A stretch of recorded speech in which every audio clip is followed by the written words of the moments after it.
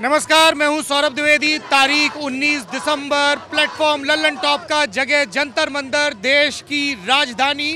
का वो सरकारी नोटिफाइड इलाका जहाँ पर धरना प्रदर्शन की इजाज़त है। आजकल सरकारी इजाज़तों का बड़ा ज़ोर है। सरकार धारा 144 की बार बार बात करती है और ऐसा लगता है कि धारा 144 को डिफाई करना सबसे बड़ा जुर्म है। सरकार इश्तिहार दे रही है, सरकार सफ़ाई दे रही है जिन लोगों को सफ़ाई दे रही है उनमें से कुछ जंतर मंतर पर जुटे हैं। उनसे बात कर लेते हैं। जी क्या नाम है आपका? सर मेरा नाम रिहान है। रिहान। जी। से डर लगता है। क्या अर्थ है इसका? ये इसका मैं अर्थ ये है सर कि जो लोग घर में बैठे हुए सिर्फ़ टेलीविज़न ऑन करके आज हमारे संविधान को मिटता हुआ देख रहे हैं तो ऐसा होगा नहीं लेकिन दुखी तौर पर मुझे कहना पड़ रहा है ये उनके लिए है मैसेज कि आज हम अपनी हक की लड़ाई लड़ रहे हैं और कैसे मिट रहा है संविधान? सम, ये आप इन्होंने जो ये ला, लाया है सी और एनआरसी ये सीधा हमारे तो सरकार के लिए भी आया नहीं है। आया नहीं है ना लेकिन सी भी के सीए के बाद लगेगा ना लेकिन सी जो है ये तो सीधा सीधा वायलेशन है आर्टिकल 14 का। कैसे? ये सर आर्टिकल 14 का ऐसे वॉलेशन है, क्योंकि हमारे संविधान में जो है, सबको बराबरी का हक दिया गया है। जहाँ जात के अनुसार पर, ना रंग के अनुसार पर, ना किसी भी कम्युनिटी को हम छोटा बड़ा नहीं समझ सकते। इस वजह से अब हमारे सीए में वो कह रहे हैं, सरकार कह रही है बार बार कि सीए को हम लाए ताकि जो दूसरे देशों के उत्पीड़ित अल्पसंख्यक है, उनको हक दें। भारत के किसी भी व्यक्ति का हक नहीं माना बहुत ही अच्छी बात है, आप हक देने की बात कर रहे हैं। लेकिन एक बात है कि आपको हमने, हमारे जो माइनॉरिटी मिनिस्टर हैं, हमने क्या उनको पाकिस्तान का माइनॉरिटी मिनिस्टर बनाया है? हमने तो उनको इंडिया का माइनॉरिटी मिनिस्टर बनाया है ना? तो यहाँ की माइनॉरिटीज़ के बारे में क्यों नहीं सोच रहे? हम यहाँ के मुसलमान हैं, हमने यहाँ पे रहना चूज़ करा। और अगर कभी जान देने की बात आएगी, हम यहाँ पे हँसते हँसते जान दे देंगे। हम किसी से नहीं डरते, लाठी से, ना गोलियों से, किसी से भी। हम यहाँ पे शहीद आएँगे ऐसी पाकिस्तान के जो लोग हैं, वो पाकिस्तान के साथ होंगे, भले ही वो हिंदू हो या सिख हो या कोई भी हो। पहले आप अपने बारे में तो सोचो, अगर ये लोग एनआरसी लाते हैं सीए लाते हैं डिटेंशन कैंप बनाएँगे, उन्हें बनाने में हज़ारों लाखों करोड़ का खर्चा आएगा। ये यहाँ पे तो लोग रोज़गार दे नहीं पा रहे लोगों को, ना एजुकेशन दे पा रहे हैं। नागरिकता पे खतरे की बात चल रही है, ये भ्रामक बात है, हमारा ऐसा कोई इरादा नहीं है। बार बार सरकार कह रही है इश्तेहारों में। सर, ऐसा तो हिटलर ने भी कहा था ना न्यूरमबर्ग ग्लो के बारे में। ये बेसिकली ऐसा है, इनके पास जो है, अब राम मंदिर का मुद्दा नहीं है। अब इनको एक और एजेंडा चाहिए चलाने के लिए। अब ये ले आए सीए ये चाहते हैं दरार डालना, लेकिन हम में दरार नहीं पड़ेगी। मेरे फ्रेंड हैं, बहुत सारे हिंदू हैं, सिख भी हैं, हम एक ही प्लेट में खाना खाते हैं, हमने एक साथ पढ़ाई करी है, हम आज अपने हक की एक साथ लड़ाई लड़ रहे हैं। यहाँ पर कितने सारे लोग नॉन मुस्लिम हैं, ऐसा नहीं है सिर्फ़ यहाँ पर मुसलमान खड़े हैं, और इन्होंने जो जामिया के अंदर बर्बरता करी है, वो इन्हें करनी चाहिए थी क्या? अगर हम विरोध कर रहे थे स्टूडेंट तो इन्हें पीसफुली हमें समझाना चाहिए था। इन्हें यह नहीं करना चाहिए था कि गर्ल्स हॉस्टल में घुस गए। कहना है कि जब भीड़ में कुछ ऐसे तत्व हैं जो तोड़फोड़ करते हैं तब हमें कार्रवाई करनी पड़ती है। सर ये पुलिस की सफ़ाई आई सर अगर आपको ये कार्रवाई करनी पड़ती है तो आप उसको पकड़ने की कोशिश करिए ना। आपको लॉ एंड ऑर्डर बनाए रखना है बिल्कुल हकीकत बात है। तो जो भीड़ में ऐसे ऐसे जो भीड़ ने ऐसी क्या नाम है यहाँ पर हरकत भीड़ में ऐसे कोई तत्व थे जिन्होंने ऐसी हरकत करी तो आपको उनको पकड़ना चाहिए था ना। ये थोड़ी कि आपको वो क्या कहते हैं घुन के साथ गेहूँ भी पिसता है। आपने तो वो हिसाब कर दिया कि सारे स्टूडेंट पिटे और जिन्होंने ये हरकत करी थी उनका पता ही नहीं है। जी क्या नाम है आप सर मेरा नाम तोहीद है। मैं रिसर्च स्कॉलर हूँ जामिया मिलिया इस्लामिया का। और रिसर्च कर रहे हैं आप? मैं उर्दू की वेबसाइट्स पे रिसर्च कर रहा हूँ ऑल ओवर जो वर्ल्ड वेबसाइट चलती हैं उर्दू लैंग्वेज में मैं उस पर रिसर्च कर रहा हूँ ठीक है? जो जो आपने सरकार की बहुत सारी बातें रखी कि सरकार ये कह रही है सरकार वो कह रही है आपको हमारी भी बात रखनी होगी कि हम क्या कह रहे हैं। सरकार ये कह रही है कि एंटी सोशल एलिमेंट वहाँ चले गए थे यूनिवर्सिटी के अंदर। सर ये बिल्कुल बेबुनियाद बात है। जामिया के मेन गेट पे चार आ, आर्मी पर्सनल होते हैं retired army personnel without identity card एक स्टूडेंट जामिया के अंदर नहीं घुस सकता। देन उसके बाद जो हम मीडिया पे लोग लिख रहे हैं कि खुद वीसी ने एडमिट किया है कि कई फर्जी एडमिट कार्ड पाए गए स्टूडेंट कार्ड पाए गए। सर फर्जी बहुत का ऐसा बयान सर्कुलेट किया है। सर, ये बहुत पहले की बात है। ये बहुत पहले की बात है। नजमा अख्तर ने खुद कहा है कि विदाउट एनी परमिशन पुलिस दाखिल हुई है। ठीक है, उसके उसके अलावा लाइब्रेरी में जब दाखिल हुआ जाता है तो वहाँ पे भी आइडेंटिटी कार्ड चेक किया जाता है। कितने बड़े सोशल एलिमेंट थे जो जामिया के अंदर घुसे, फिर लाइब्रेरी के अंदर घुसे, और आपको आप आप देख रहे थे घुसते हुए। आपने देखा, पुलिस वालों ने देखा घुसते हुए, इसलिए वो घुसते घुसते लाइब्रेरी तक चले गए और उसके अंदर आँसू गैस के गोले मारे। क्या शर्म नहीं आती है क्या इसको? आप यही देख लीजिए, तीन दिन के अंदर दिल्ली पुलिस ने तीन स्टैंड चेंज किया है। पहले उसने कहा कि गोली नहीं चली। जब गोली लगा हुआ स्टूडेंट मिल गया तो कहता है कि देसी कारतूस से चली है कारतूस हमें मिला है जामिया नगर में। जब वीडियो सामने आ जाता है कि पुलिस चला रही है गोली, तब कहते हैं कि हमने अपने बचाव में गोली चला रही थी। आपको शर्म नहीं आती? तीन तीन बार स्टैंड चेंज करते हुए आप इतना ब्रूटल अटैक करते हैं लाइब्रेरी के अंदर और आपको, आप उसको जस्टिफाई करते हैं? क्या स्टूडेंट को प्रोटेस्ट करने का हक नहीं है? क्या हम आ, हम जो चीज़ हमें पढ़ाई जाती है अगर हम उसको अपनी लाइफ में इम्प्लीमेंट कर रहे हैं अगर संविधान के ख़िलाफ़ आर्टिकल 14 के ख़िलाफ़ हमारे प्रियम्बल के ख़िलाफ़ एक लॉ बना दिया जाता है। सारे लोग हैं जो आर्टिकल 14 नहीं जानते होंगे। थोड़ा आप डिटेल में बताएँगे क्या है article for equality before law किसी भी आधार पर भेदभाव नहीं किया जाएगा चाहे वो धर्म हो जाति हो लिंग हो किसी भी आधार पर भेदभाव नहीं होगा। क्या नाम है आपका? जी मोहम्मद राशिद। मोहम्मद राशिद। मोहम्मद क्या करते हैं आप? सर मैं लॉ का स्टूडेंट हूँ। लॉ के student so you will be the right fellow to describe या या tell me about it you want to know about the cab right और यू वांट टू नो नहीं नहीं मैं तो जानता हूँ। मैं पढ़ के आया नहीं। मैं समझ गया सर मतलब पर जो जनता है जो आपके विचार सुन रही है Okay, वो ये जानना Okay. चाहती है कि किस आधार पर आप लोग विरोध कर रहे हैं? ठीक है सर ठीक है हमारा जो मेनली अधिकार जो हम लोग विरोध कर रहे हैं पहले हम सबको समझना चाहिए कि हम लोग यहाँ मुस्लिम या हिंदू वाले मैटर की वजह से विरोध नहीं कर रहे हम लोग इस देश के संविधान को बचाने के लिए रहे हैं इस देश में इस वक्त जो गवर्नमेंट है करेंटली वो पूरी संघ के द्वारा चल रही है। जो इस देश के सेकुलरिज्म को मिटाने के पे काम कर रहे हैं। इन्होंने जो एनआरसी और कैब का बिल है सीधा सीधा हमारे आर्टिकल फोर्टीन एनआरसी जो इन्होंने पहले लागू करी असम के अंदर फिर उसके बाद कैब बिल कैब असम हाँ। ऑर्डर से हुई। हाँ वो सर पता है मुझे। उसके बाद उन्होंने ऐसा कुछ नहीं था कि धर्म के आधार पे वो लोग हमें नागरिकता ना- नागरिक ऐसा कभी भी नहीं था। ये था कि इलीगल इमिग्रेंट्स जो है तो इन लोगों ने क्या किया कि जो अ, इन्होंने फिर क्या जैसे ही देखा इन्होंने कि 20 लाख लोग जब निकले तो ये शॉक्ड हो गए कि इतनी बड़ी आबादी नॉन मुस्लिम की कैसे है? तो अगर हम इनको नहीं देंगे तो हम हिंदुत्व के नाम पर राजनीति कैसे करेंगे तो ये लोग क्या करते हैं? कैब एक्ट लेके आते हैं। सिटीजन सिटीजनशिप अमेंडमेंट एक्ट जिसके तहत इन्होंने कह दिया, ठीक है भैया, हम जो है हिंदू को दे देंगे, बौद्ध को दे देंगे, जैन को दे देंगे, सिख को दे देंगे, लेकिन मुसलमान को देंगे, क्योंकि मुसलमान जो है, उनका अपना देश है। मैं आपको बोल रहा हूँ, बांग्लादेश हो या पाकिस्तान हो या अफ़गानिस्तान हो, वहाँ पर शिया है, हज़ारा है और म्यांमार से भी लोग आए हैं, वो अपने, उनका प्रोसिक्यूशन हुआ तो यहाँ पर आए। तो आप किस बेस पे कह रहे हो कि भाई हम धर्म के आधार पर देने क्यों धर्म के आधार, आप प्रोसिक्यूशन बना देना कि प्रोसिक्यूशन के बेस पे हम लोग नागरिकता देंगे और धर्म के आधार पर नहीं देंगे। तो इन्होंने धर्म वाला सीन क्यों जोड़ा? हमारे देश की जो सभ्यता है, हमारी देश की सभ्यता, संस्कृति, वासुदेव कुटुंब हमारे स्वामी विवेकानंद जब शिकागो जाते हैं तो ये कहते हैं मुझे गर्व है इस देश पे। मैं इस देश से आता हूँ जहाँ पर सबको शरण दी है। अगर कहीं पर भी उनके साथ गलत हुआ और आज आप ये कह रहे हैं कि हम हिंदू को देंगे और, दूसरे धर्म वाले को देंगे लेकिन मुसलमान को देंगे। तो ये तो गलत है ही है। आप सुप्रीम कोर्ट की जजमेंट पढ़े केशव नंदा भारतीय केस में उन्होंने बोला सेकुलरिज्म इस देश का बेसिक स्ट्रक्चर है। और जो बेसिक स्ट्रक्चर होता है ना वो आप कॉन्स्टिट्यूशन में अमेंडमेंट से भी नहीं हटा सकते। तो आप ये ऑर्डिनरी बिल से कैसे हटा सकते हैं? आपको ऐसा लगता है कि अब ये एक्ट जब सुप्रीम कोर्ट में चैलेंज किया जा रहा है तो वहाँ से रेमेडी मिलेगी? हमें अभी भी, हमें जो है अपने भारतीय कोर्ट से, न्यायालय से आज भी पूरा विश्वास है और ये भारत पूरा विश्वास रखेगा।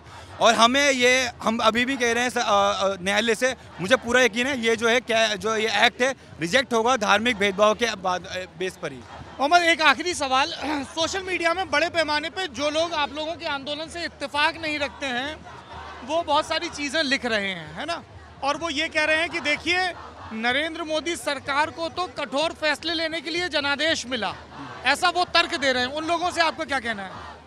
मेरा सिर्फ़ उन लोगों से कठोर फैसला बता रहे हैं और कह रहे हैं कि जिनके पास डॉक्यूमेंट्स हैं उनको डरने की ज़रूरत है? कई सस्ते जोक्स भी व्हाट्सएप पे चल रहे हैं कि कल तक राम के जन्म का आधार मांग रहे थे आज अपना आधार देने में शर्मा रहे हैं। मैं उन वो भाजपा आईटी सेल के लोग हैं जो ये प्रोपागेंडा फैला रहे हैं देश में उनसे यही कहना चाहूँगा, उनको संविधान की नॉलेज नहीं है, उनसे गुजारिश है कि वो आर्टिकल 14 को पढ़े आर्टिकल 15 जो prohibition of discrimination on the basis of religion race caste sex and place of birth उसको वो पढ़े। Article 21 right to life and personal liberty उसको भी वो पढ़े। अगर वो उसको पढ़ेंगे तो वो खुद ब खुद क्लियर हो जाएँगे। आप मुझे बताओ, इतने जैनवन जैनवन बंदे एनआरसी में उनका नाम नहीं है सर प्रेसिडेंट जो रह चुके हमारे देश के फखरुद्दीन अली जो कि उनके फैमिली मेंबर का नहीं। अगर वो बंदा भारतीय नहीं था तो आपने प्रेसिडेंट कैसे बना दिया? मेरा ये सवाल है। अगर उसके फैमिली मेंबर भारतीय नहीं थे। सनाउल्ला जिसने देश में सर्विस दिया आर्मी के अंदर में उस बंदे को और कारगिल के युद्ध में जिसने अपनी सर्विस दी उस बंदे को डिटेंशन सेंटर में डाला है। अगर वो बंदा विदेशी था तो आपने उसे आर, आर्मी में कैसे नौकरी लगाने दी? तो ये जो बिल है जो एनआरसी है इसमें भी सरकार का पूरा फेलियर है इनका मैकेनिज्म पूरा फेलियर है। जेनुअन जेनुअन बंदों के नाम एनआरसी में नहीं आ रहे तो मैं कैसे विश्वास कर लूँ? जब हमारे फ़खरुद्दीन अली के फैमिली मेंबर का नाम नहीं आया जब हमारे आर्मी में जो लोगों ने सर्विस दी है उनका नाम नहीं आया तो मे, मेरा से? सरकार जो असम में एनआरसी लागू हुई उस पर जब सवाल पूछे जाते हैं मीडिया के द्वारा तो सरकार अपनी सफ़ाई में ये कहती है कि जी वो तो सुप्रीम कोर्ट के आदेश पर हाँ, सारा। काम हुआ था। हम फ्रेश एनआरसी लाएँगे और सबकी चिंताओं को शामिल करेंगे। देखिए ऑर्डर जो है सुप्रीम कोर्ट का ही है। एनआरसी कोई बाहर नहीं। जब प्रोटेस्ट असम में हुए इलीगल इमिग्रेंट के खिलाफ में असम अकॉर्ड साइन किया था। असम अकॉर्ड में सिर्फ़ ये बात कही गई थी जो इलीगल एग्रीमेंट से इमिग्रेंट से 1970 के बाद वाले वो सब बाहर हाँ ना- 1971 के बाद वाले वो सारे बाहर जाएँगे। लेकिन इन्होंने क्या किया? भाई 2014 से पहले के जो भी हिंदू है, जो अदर धर्म वाले, उनको हम लोग दे देंगे। असम अकॉर्ड के पूरा सख्त से सख्त खिलाफ है। आज जो असम में प्रोटेस्ट हो रहा है, वो इसी वजह से ही हो रहा है कि जो असम अकॉर्ड साइन किया गया था, उसके पूरे के पूरे खिलाफ में तुम तुमने ऑर्डर लेके आए अच्छा सरकार ये कह देती है कि जो भी लोग विरोध प्रदर्शन करते हैं, जेएनयू में, जामिया में, एएनयू में, कहीं भी, कि साहब, ये लोग तो पाकिस्तान के एजेंडे को बढ़ावा दे रहे हैं। देश में अमन एकता को खतरा पहुँचा रहे हैं। ये देश की एकता में बाधा बन रहे हैं। उन लोगों से आप क्या कहेंगे? सरकार के स्तर से। मैं उन लोगों को ये कहूँगा कि देश बचाने की जो ज़िम्मेदारी है, हम सबकी है। आज छात्र जो होते हैं, सबसे ज़्यादा पढ़े लिखे होते हैं। हर कॉलेज में ज्ञान जिससे भी स्टूडेंट्स खड़े हैं, वो इसलिए खड़े हैं क्योंकि वो खिलाफ में है। और हमारे ही देश में प्रोटेस्ट नहीं चल रहा, सर।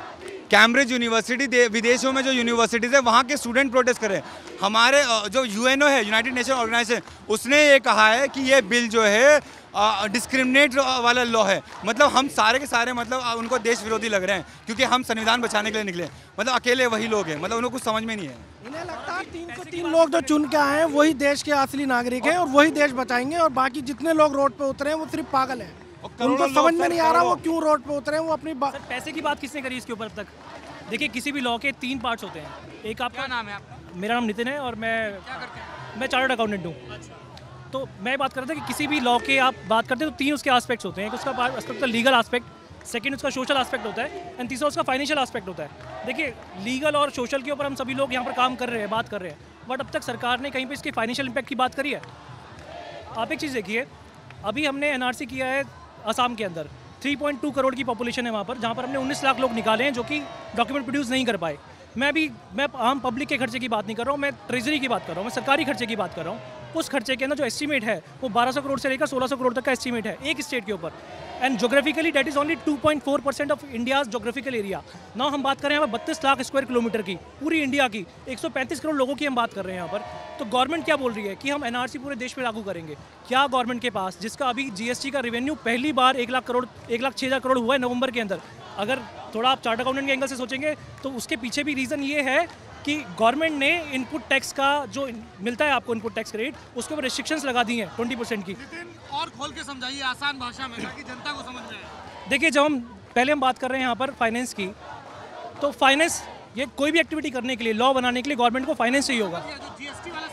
जीएसटी वाले की बात मैं ये कह रहा था आपको कि जब गवर्नमेंट ने जीएसटी लेके आए है ना तो कंकरेंट लिस्ट के अंदर लेके आए तो गवर्नमेंट का एस्टिमेट था कि हर महीने हम एक लाख से लेकर एक लाख बीस करोड़ तक का कलेक्शन कर लेंगे।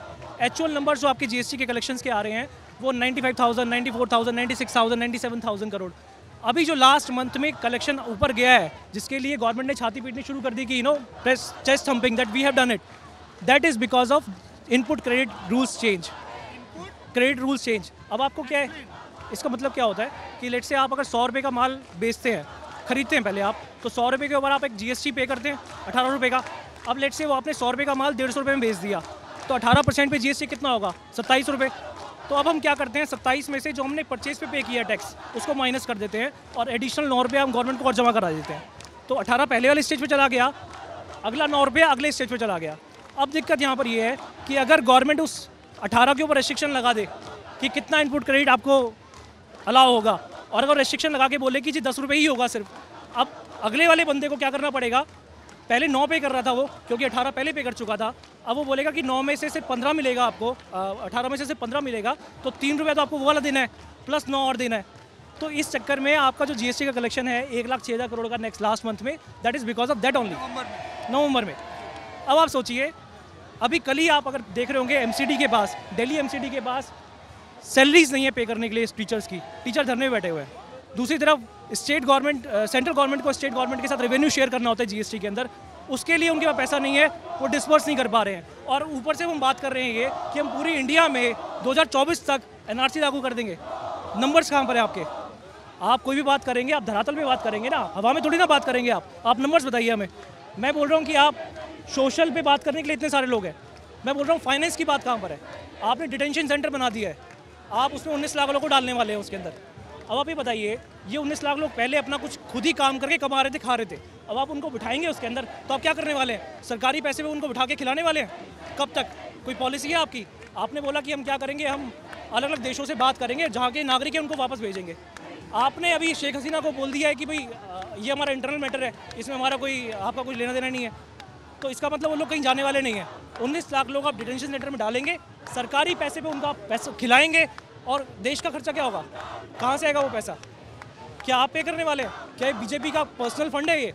नहीं ये कॉन्सोलिडेटेड फंड ऑफ़ इंडिया है। सीएफआई में से पैसा निकलेगा ये और वहाँ पर स्पेंड होने वाला है। तो आप बताइए कि मैं बोलता हूँ एक, एक आम नागरिक नागरिक जिसको एक पर्टिकुलर कम्युनिटी से अगर प्रॉब्लम भी है क्या उसको इतनी प्रॉब्लम है कि अपना नुकसान कराने के लिए तैयार है? अगर तैयार है तो फिर आप फिर आप करते रहिए कुछ।